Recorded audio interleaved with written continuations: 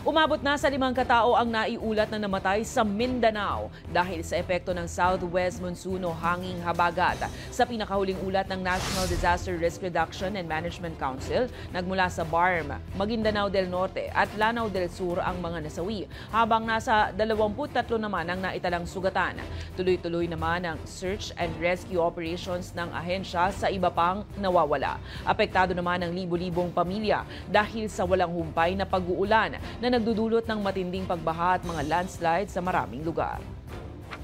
meron po tayong uh, napaulat ano po sir na yan po ay sa area ng farm Ah, yung yung tatlo po ay ah, sa Maguindanao del Norte at yung dalawa po ay sa Lanao del Sur.